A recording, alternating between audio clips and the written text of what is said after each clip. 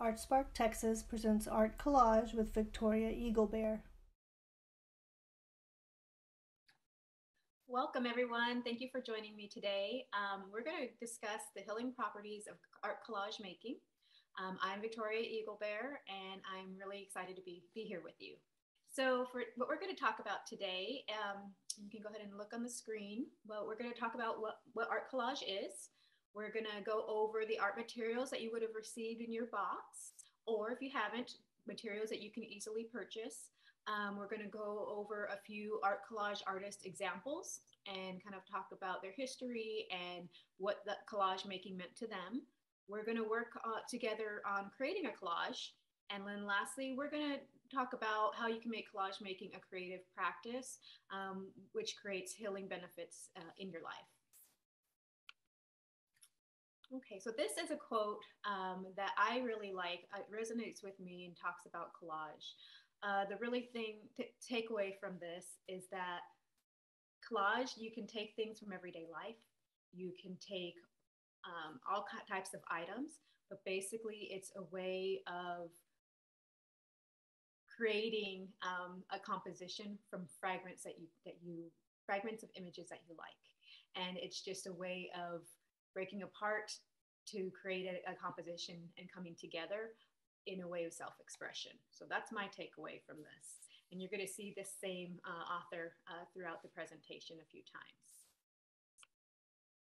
Next, what is collage? This is really just a textbook definition of what collage is, but overall, it's where you combine images to create a new composition that conveys emotion. And we're going to talk a little bit more about this. But one thing I will say here is one form of collage that you might be um, pretty pretty aware of already is our vision boards. People create vision boards annually, and it's a way to set the intention for the year. Um, and its collage is a little bit more involved in that you have lots of layering. You can get really detailed with the cuts that you make for your images. There's different uh, techniques that as you do this, you'll become comfortable with. Um, as an example, um, with collage, you're provided with scissors that you have in your box. But one uh, tip that I'll give you is if you want to get really detailed in cutting your images, um, you can use an X-Acto blade. Here's an example of one that I have. We, it's be careful, it's a safe for a safety issue, but you can get some really nice clean cuts and um, create really detailed and layered work. Another thing you can do um, is if you're comfortable, you can tear images with your fingers. Um, you're also provided with a foam brush. You don't have to use that foam brush. I, I use the glue with my fingers, but it just depends on how comfortable you are with getting a little, a little dirty as you're creating. So, okay, next. Um, we're gonna talk about a little bit about my background. Um, I'm, I'm an Army veteran. Uh, I served for five years, excuse me, as an Army officer. Um, but I'm an unlikely soldier. And I say that because I have an art background. I had it, I've been creating in some capacity since I was a kid. I started painting when I was in high school, and I found collage in college. Collage is really appealing to me because you can find, use all different types of images. You can use magazines, you can use the um, advertisements you get in the mail, you can find things you find of daily life, you know, discarded candy wrappers, um, it, you can use images, all types of things. And I will get more into that later. But being an unlikely soldier is, it took a lot for me to transition into the military lifestyle. It also took a lot to me for me to transition out. So um, the top image there, that is an example of a partially completed vision board that I did a few years ago. Um, it is also on a canvas panel, this, which is what you have in your box today. The second image was also done on a canvas panel, and I had a little bit more time to work on this, so I painted the background. Um, but the images you see there were cut out using an X-Acto knife, and you can see you can get very, very detailed cuts. You can layer quickly. Um, this part is hard because you can layer, you can pull up the image, slide an image in it underneath it, and just play with it till you like the aesthetic. Um, but all of these are using the Mod Podge glue that you have. Um, being so, I keep saying I'm a little unlikely soldier, but being in the military, trying to use that creative expression is challenging.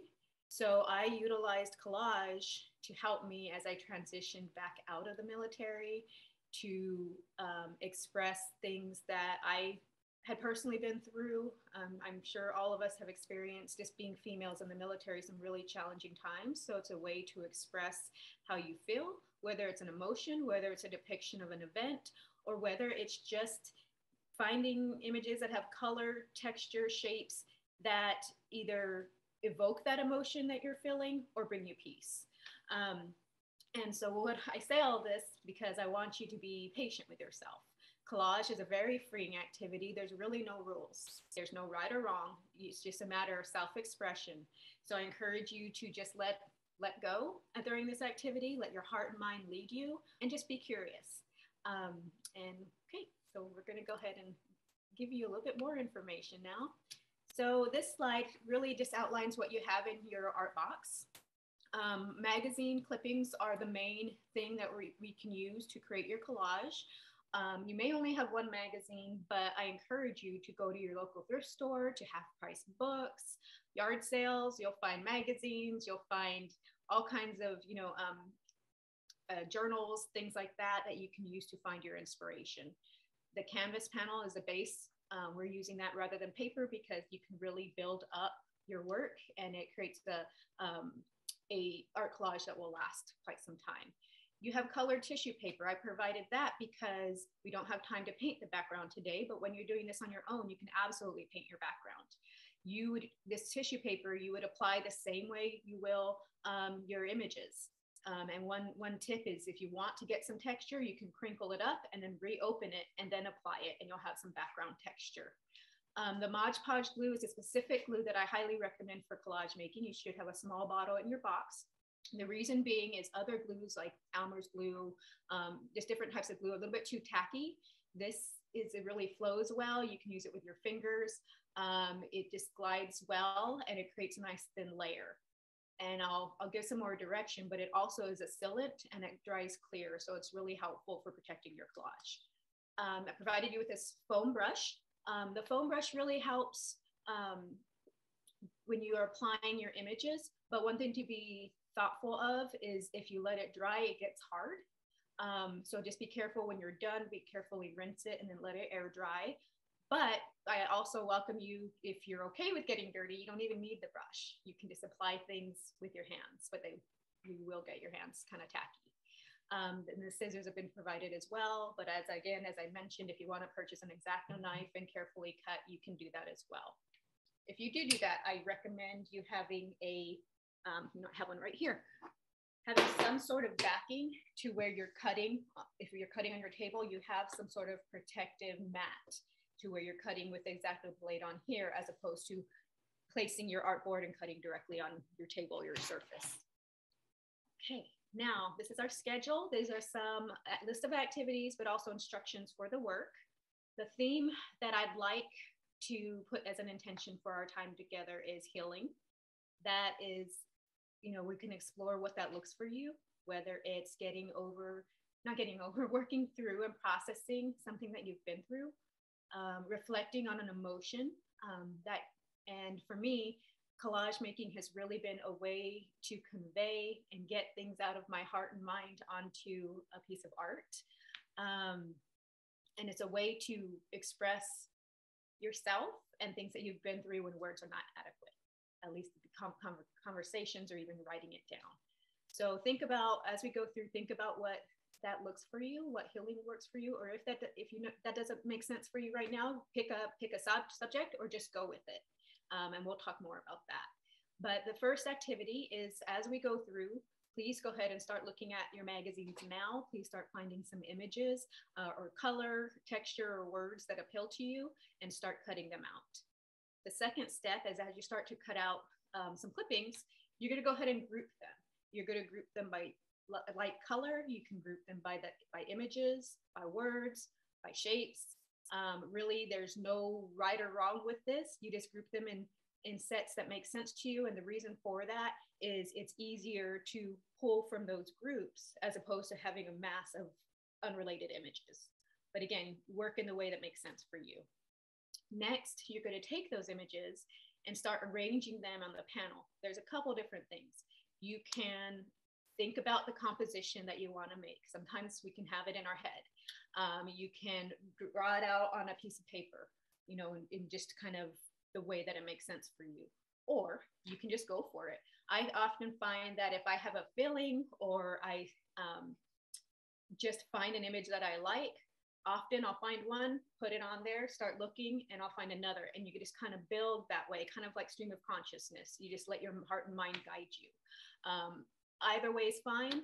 Eventually, eventually, we'll find our own way of working, but just there's no judgment, there's no rules. So just take your time. Lastly, um, and we won't get, we likely won't get to this today, um, but when you're completely done with your collage, you can use your foam brush or a paintbrush, however you'd like, and apply a thin layer of the Mod Podge glue all over your composition. Then you let that sit um, because you need time to let that dry. Once it dries, it's not going to be tacky to the touch. It will dry clear and it'll be a sealant for your work. Okay, now we're going to talk about uh, a few artists that were really prominent and um, are known for being collage making artists. The two, first two artists I'm going to talk about um, were both from the Dada, the, the, Dada art movement in Berlin. Um, this first artist was attributed to being the, the father of um, collage making. There's other artists that are attributed with that as well. One of them is Pablo Picasso. But, but this artist actually, um, what I love about his work is he would put, pull things from everyday life. He'd walk around the streets of Berlin, pick up pieces of discarded wood, cork, um, string, metal, you name it. He would find things and collect them. And then he created a collage, as you can see here. It's not all paper. Um, there are pieces of wood in there. I think I see some metal, um, all types of stuff. And he, he would apply paint. He would apply, you know, potentially some um, colored colored or printed paper. And it's just a great example of connecting reality and creating an abstract work of art. But this is meaningful to him as a reflection of the world that he lived in in the 1920s. The next artist we have here is Hannah Höch. She is a female Dada, Dada artist um, this was created in 1931. She was also in Berlin. She is accredited with being a pioneer of photo montage. What she did um, is she found images in fashion magazines, illustrated journals, po- other popular magazines, and she would create a commentary on the life around her. She was, like I said, the only female in the, this Dada group. So she poked fun at the way of life. She poked fun of aspects of misogyny because back then she probably um, did not have the same freedoms that a lot of her male counterparts did. So she used this as a commentary on what she was going through in the world around her. So a lot of these are com- com- they're complex. There's a lot to them as far as the thought, the emotions behind it, but they are, are kind of a satire on the life at that time, especially a life as a woman. So I, I, really, really enjoy her work. And at the end of the, the, presentation, I'll include all my references if you want to look up these artists um, further. Okay, so this slide, I really wanted to show you how collage can be a commentary on the social tumultuous times that we live in. The collage on the left is was created in 1970 by Robert Rauschenberg. It's called Signs. And that he utilized pictures from of political figures, not, political, excuse me, popular figures during that time. Some of them might be um, political leaders. Um, there's, you know, signs to military and the, the, um, the, the political, I mean, sorry, the military activity during that time. And it just um, is an observation. It's a pretty bold collage, but it's a good example of how you can use collage to comment on um, what's going on socially and in the world around you. The next one on the right, this was created in 2008. It's a collage on the Iraq War. And it's not, this looks like it's only two images collaged together, but it's a striking, um, invokes striking emotion on how the warfare impacts civilians, how it makes you feel, the loss, the um, the struggle that we have, but they really capture the spirit of the times. This is um, Pavel Zoubok. He's the same person I had that had the um, quote in the beginning, but he is really adept at capturing what collage does, the emotions it evokes, and how, you know, you can create a new world with collage, literally constructed from pieces of things that you find in the world around you. And what's really nice is this one, especially the one on the right to me, creates a relationship with the viewer and the work. You're kind of drawn into that emotion. Um, and your work can be cathartic for you, but it also can really captivate um, people that, that can see it. Okay, so the next two artists are modern day artists. This first one, Lance Letscher, he is from Austin, Texas. This specific work was created in 2009. Title is How to Draw with Paint. And what I love about his work is he himself has experienced a lot of tra- trauma, grief. Um, if you read a little bit about him, he kind of talks about um, his personal experiences and how he used collage as a way of painting. He used collage to um, just really navigate the chaos that he was going on going on through his life um, and he was able to find um, be at ease based off uh, through this creation.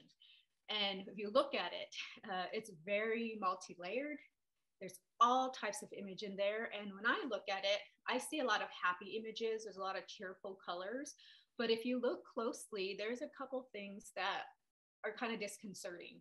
So he has a way of just really um, being able to create a composition that is healing for him. Um, but for the audience, it can captivate them and make it them look a little deeper as to what's going on.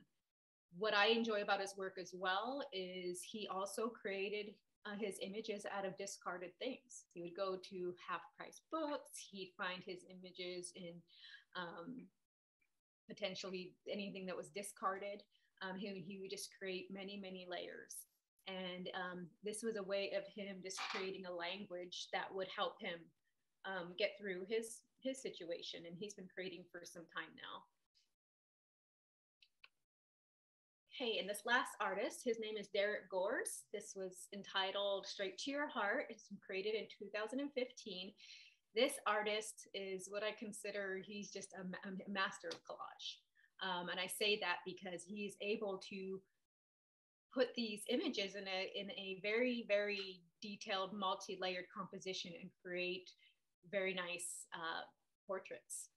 Um, he was um, also known as a recycling artist. He would take pieces of technology when that, like bits and pieces of at the time we had you know floppy disks or just different parts of technology and incorporate them in his work he would also incorporate like song lyrics maps all kinds of really cool things and create a photorealistic um, portrait now what i love about his work is if you look at it um, far away you can see it's a really nice image of, of a, a female looking at you and the gaze kind of draws you into the piece. And as you get closer to the piece, you'll see that it's comprised of so many different elements.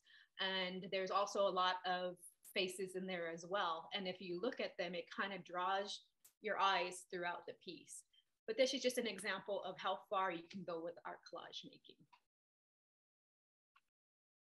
Okay, so now is the time to create. So as you create your work, I would encourage you to think about how can you grow your connection with art if, if the theme of healing speaks to you, really take the time and reflect on either what you'd like to convey, what you like the composition to look like, what what emotion you want to work through, or if there's a certain experience you kind of want to just depict, whether it's getting that emotion associated with it or the hurt that you feel through it. However, there's no wrong or there's no wrong or right way to do this. So just um, relax, explore. You can do take your time and do it. You can collage. You can kind of take pieces off and reposition them. So one um, one instruction I'll, I'll or recommendation I'll give you is as you put them on your space, you can your images, you can lay them out in a composition. But before you glue them down, just make sure that you're you're ready and you want to commit to that. The Mod Podge allows you to be a little bit free with moving things around, but eventually you're going to want to go ahead and um, commit to it. Um, if you have any questions, please let me know at the end of this presentation. I'll provide you with all my contact information. You can do a couple things. You can pause the video right now and you can take your time and start creating, or you can just go through this and then create it on your own um, at the end. But either way, I am, I my contact information will be there for you if you have any questions. I would also encourage you to share your artwork. I would love to see your completed work. Um, it really encourages me, motivates me, and inspires. Um, it's just inspiring that you're going to give this a try. So again, my email will be at the end of the presentation. Feel free to send me an, an your finished image. Um, I would just love to see it and, and collaborate with each other. And again, um, please feel free to go ahead and send any questions. I'd be happy to help you.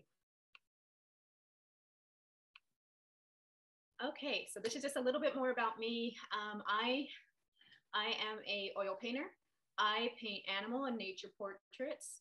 Um, most recently, um, I've actually worked at a, a, counseling center. I work at a counseling center where we provide counseling services to nonprofit organizations throughout the DFW area. And working alongside clinicians and our clients, that's really informed my artwork. So my, my most recent paintings have been dealing with mental health themes, but utilizing animal and nature elements. So it kind of collage informs this. So collage, some people, some artists use it to create their sketch, to create, get their uh, creative ideas flowing before they create a painting. But as we mentioned, art collage is it's, it's an art form in its own right. Um, collage has helped me work through many um, challenging feelings, challenging experiences. Um, and you can even use it. One thing that I'd highly recommend is if you want to use the theme of healing, for example, you can create a collage just utilizing colors that you like, pictures that bring you peace, just different things that you're drawn to, whether it's color, texture, words that evoke healing, that, that resonate, resonate um, healing to you. And what you can do is it doesn't have to, you don't have to work through anything if you choose not to. But if you, if that end composition brings you peace and gives you joy, you can put that in a room that you spend a lot of time in and just look at it and reflect on it. Um, and that can be healing in itself. The other thing I'll recommend is when you work on your collage on your own, make sure your space is conducive to creativity. So I, when I work, I like to put music on. I sometimes light a candle and I just ask my family, my dogs will come in and that's fine, but I, I like to have some uninterrupted time to work on it because it's just a way to have some some private time with yourself and really um, express yourself. So again, if you have any questions, please feel free to reach out. I really appreciate the time um, and the opportunity to teach you today. And I really hope that this has uh, been helpful and that you can create a um, art collage making practice that will help you in your everyday life all of the images I used, all of the references are right here. Um, you can go on to these, these links and learn more about the artist, learn more about collage making. So I just, just provided this for your reference. And I just want to say thanks. Thanks again. Thanks for a great um, having this opportunity to encourage you to create and take time for yourself. And I really hope you get something out of it. Have a great day. Funding provided by National Endowment for the Arts Creative Forces.